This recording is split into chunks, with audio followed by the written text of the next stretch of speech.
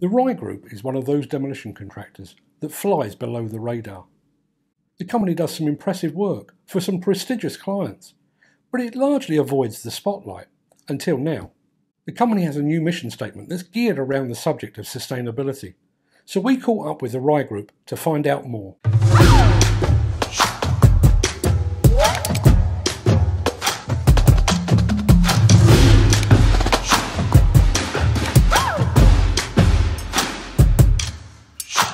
Got a new tagline, the sustainable standard. That sounds great, but what does that actually mean in practice? The sustainable standard is our framework that's been developed to address key areas of impact in the business. So it's basically the foundations of this and includes the people we work with, uh, the safety and health of these people, uh, the quality of our works, uh, the environment and communities we work within. So yeah, um, I'd agree. It does sound like a, a great tagline, um, but the sustainable standards it underpins everything we do at Rye. Um, our aim is to you know demonstrate that demolition and the supporting services can be done in a way that has a positive impact on society.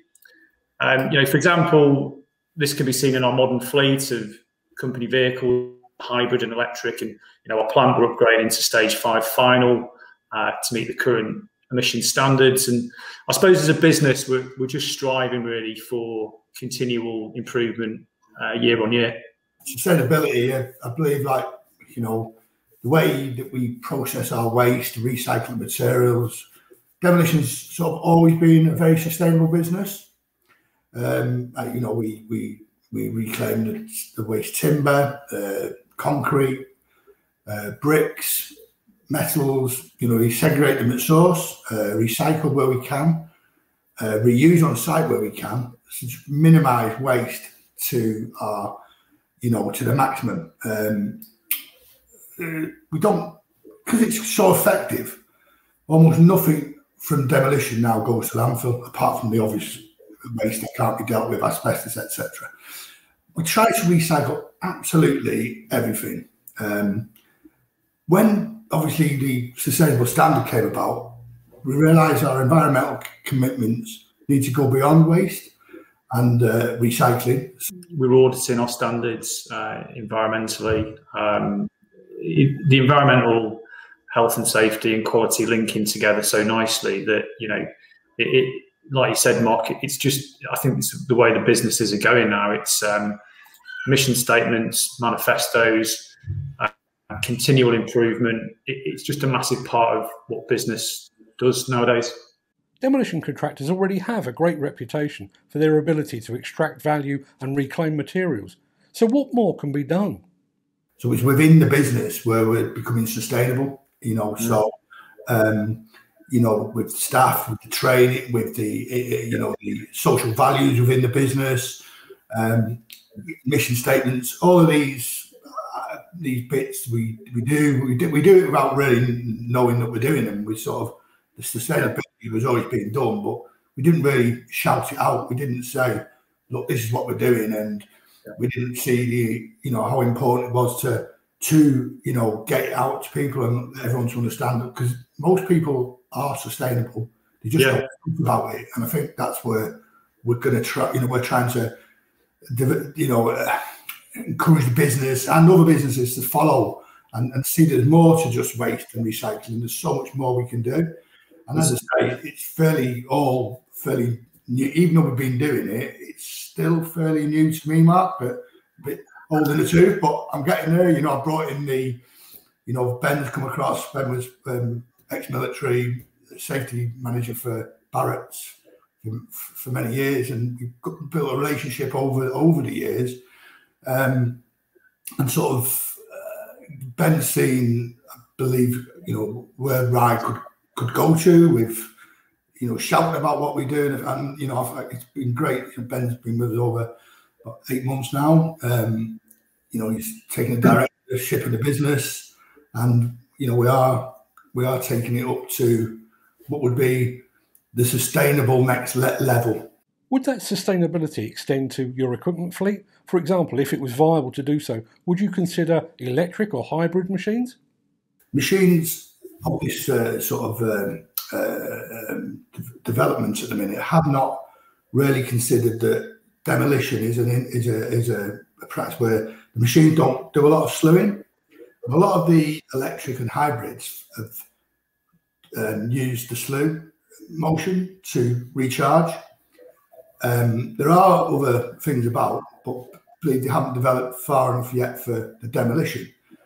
We we would obviously consider it. It would never be uh, uh, over the price. It would it would be if it is uh, more um, uh, sustainable, and uh, we would we would you know consider it. We're waiting for more advancements, obviously, within this technology. We are currently, though, speaking to our fuel suppliers um, regarding um, HVO as an alternative to the diesel. So, I don't know if you know much about HVO, but it's uh, probably one of the cleanest fuels on the market. It's a hydro-treated vegetable oil. Um, no no modifications to the machines required. Um, it's a synthetic biofuel, and it, it really reduces you know CO two, and monoxide emissions. It really is is it's good. So we are we are speaking to them now, um, getting that it's an alternative to to the diesel, and you know this is our sort of alternative to electric at the moment, but definitely alternative to, to diesel. So, so something about that's more um, user friendly for demolition, I suppose. You know. How does that pursuit of sustainability impact upon your workforce? Well, I mean, remembering that we don't see sustainability as just um, environmental impact, it also impacts on the workforce, and as we're you know, looking to ensure that they have career paths and have opportunities to develop and and just feel fulfilled in what they do. So, you know, we also hope that this focus we have makes them proud to work for Ryan. And I suppose the the greater demolition industry, um, our workforce will be involved in more training, uh, community initiatives, finding ways to innovate and improve, and you know just the services that we offer. So improvements driven by everyone, and we hope that our colleagues uh, at Rye are keen to be part of that journey. As I said in my intro, Rye Group kind of flies below the radar. You're not the biggest company, and yet you seem to work for some very prestigious clients and you do some very impressive work. To what do you attribute that success?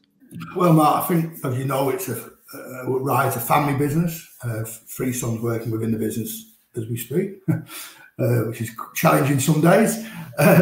But uh, we've built on good, strong relationships, good communication, and obviously always delivering high quality work. We're, you know, I believe we're dedicated, uh, hardworking, and this I believe gives the clients confidence in our ability to just deliver any project, no matter how complex or high profile profile it is. I suppose I sort of knew you might ask this question, so I suppose it's not about being the biggest mark, it's about being the best. Know that probably sounds a bit cliche, but it is what we believe in. And you know, the repeat custom with some of the largest main contractors and house builders in the UK demonstrates this. Some of the projects we've been involved with, I was didn't know whether I should bring it up, Mark, but one of the, um, I think one of the largest, most challenging uh, uh, sites we did was West Ham football ground, which it doesn't seem that long ago that we were uh, walking around uh, the, the stadium before it was demolished. I know it's uh, quite close to your heart there, Mark. So I don't know if I want to bring. I didn't know if I want to bring this up today, but I've done it. I've done it anyway. So yeah, so that was it was a really, really sort of challenging job for us as a business, but it, it really showed what we could do. Um, we just got involved in a site in Aldershot Town Centre, which is a, a regeneration scheme, and it's fantastic to see such wouldn't say run down, but sort of a, a, a town which was a, a, really vibrant place back in the day of the, I suppose, the military when it was more a military town. Um, it's nice to see that it's coming again back to life again, you know, with new buildings and new new places and apartments and shops. And just to be part of that, Mark, it's it's really um, not you know it's interesting, but it's it's also quite feel quite proud to be part of it, Mark, if I'm honest. A Rye Group is known primarily as a demolition contractor, but there's more to you than just demolition. What other services do you offer? Started um, into um, the enabling works, which is the piling mats and uh, um, ground stabilisation works. Um, major earthworks, you know, uh, reduced level digs and have, you know, um, materials off site, uh, remediation. Um, I think biggest bit we've sort of got involved with is the stabilisation, which is an, an alternative to um, where typically it was, um, you know, demolish the buildings, crush all the concrete, um, and then dig away a, a large proportion of the material, putting crushed concrete into it.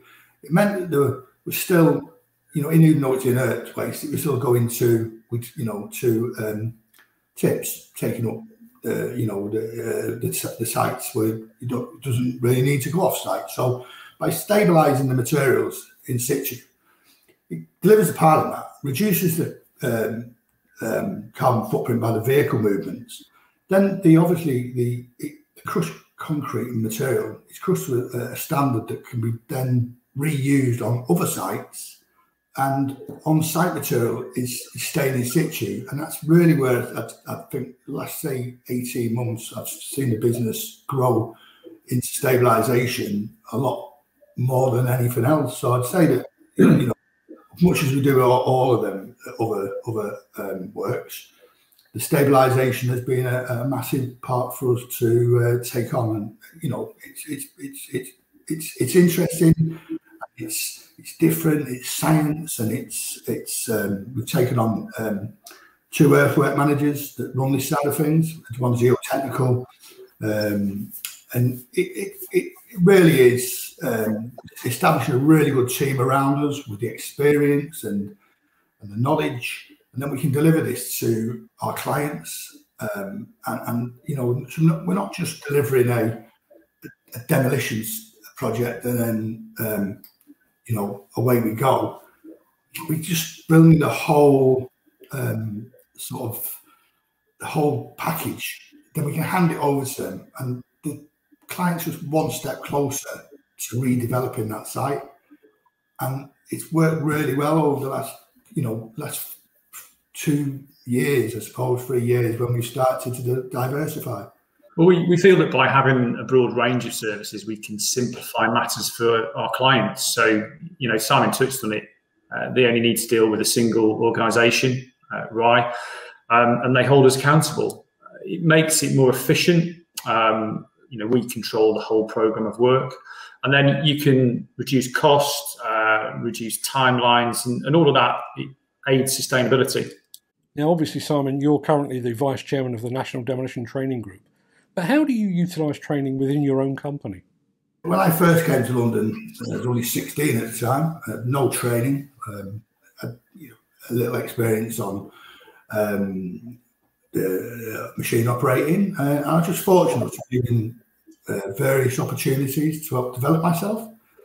I enjoyed growing with the business, you know, in different um, areas of the business that I was involved with.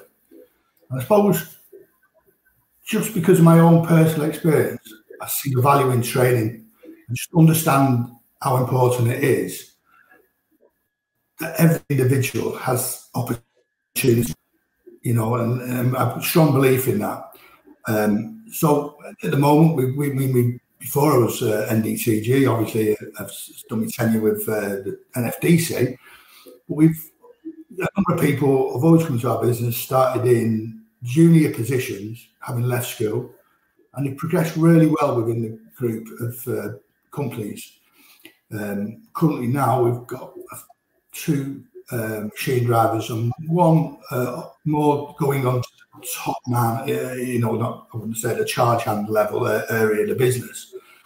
So, um, you know, these have got great careers ahead of them within our business, and, and you know, we just like to, it's great to see them grow with the business and their experience and and the, the experience being passed down from people. A lot of people have been with me since the business started, and previous to that, when I was working for for another company doing you know a, a operations director.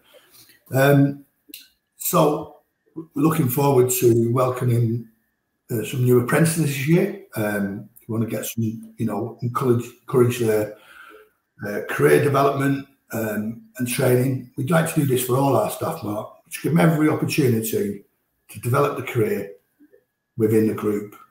Myself, coming from a completely different industry in the military and uh, coming over to I, one of the first things you're asked is what training have you got, but what training would you like to do? So it's it's really important for us, and, and you know, long may that continue. Skill shortages are a major challenge for construction and demolition. What can be done to rectify that? As, as well as you know, dedicated training, I think we need to commit to having career development plans and, and paths for all of our staff. So uh, and constantly reviewing that, engaging with the workforce. Really, I think it's important to cast on net out far uh, to continue to encourage people from different, you know, diverse fields such as forces, ex-offenders, using local labour, and, and, actually other industries. Um, you know, funny enough, we were saying the other day, demolition seems to lack appeal um, for the modern day worker, and we're not we're not sure why. You know, we, we need to show people that uh, you know we can work the right way and, and, hence the sustainable standard approach. So ultimately, new people want to uh, work with us. Now, we've already seen the first female NFDC president, but are we doing enough to address the gender imbalance within the sector? Well, I, suppose it ties back to what we said earlier. Uh, there could be many reasons why there's such a, a gender imbalance, um, but I, I, think the challenge is there for us all to, to grasp as industry leaders. Um, you know, to ensure careers in, in demolition are available to everyone, and you know we improve that diversity. Um, we, have always advocated opportunities to all, um, and it's important to continually evolve and address uh, gender imbalance in our industry. You know, because it's a big part of part of that, I think. Now, Simon, you hold a position of considerable influence within the NDTG. But if I made you king of demolition for a day, what is the one thing you would change? Well, actually, I thought I was king of the demolition, so you've disappointed me a bit there, Mark. Um, but uh, only joking, by the way. Uh, in all honesty, I just want demolition to be more appealing to the younger generation. It's an incredible industry, and it offers such excellent opportunities, like I've had. Perhaps more work could be done for school leavers and educate them more about our industry and its benefits. You know, you hear about um, uh, joiners, bricklayers, electricians, all of these things have led to you join school, but I don't believe anybody offers coming to demolition, which is such a, a, vast amount of work that we do, and it's so interesting. I absolutely still have a passion to get up every day and go to work and enjoy going around my sites it's it's it's it's really really a great business to come into. So I suppose if I I could, I'd really really expand on that and bring in the youth, the, the, the ones you know, obviously willing to work hard and and just show you know what can be done. I, have come from 16 and 55 now, so nearly 40 years in London, working through my way up and as I say, I'm not a, a massive company, as you said earlier, but I believe i have got a really good business and a good reputation, do good work. And, and all of this is being done by just hard work and having opportunities. So if, if I could change, I'd like to give as many opportunities, which is what I do, but I'd like the whole industry to give opportunities and to shout out loud about it so I suppose that's all we'll be able to do, Mark. Very, very briefly, I suppose the um, the business created um, two two schemes, one for um, a trainee site manager, one for a trainee health and safety manager, and we wanted to recruit ex-armed forces. So we created um, a kind of um, online um, uh, job spec for it, and I put it out really on the the Rye website through LinkedIn and all the social media channels, and um, the interest we got was incredible, um, completely uh, over and above uh, our expectations. So for the past uh, two or three months, I've been talking to I don't know 50, 50 or so potential applicants who want just the opportunity to come and work for us, which is brilliant. Um, I mean, it's taken loads of my time, and I think I'm finally sort of down to uh, the, the, the, final couple of potential candidates. But yeah, like I say, it's just really, um, it's just surprised us the interest we had.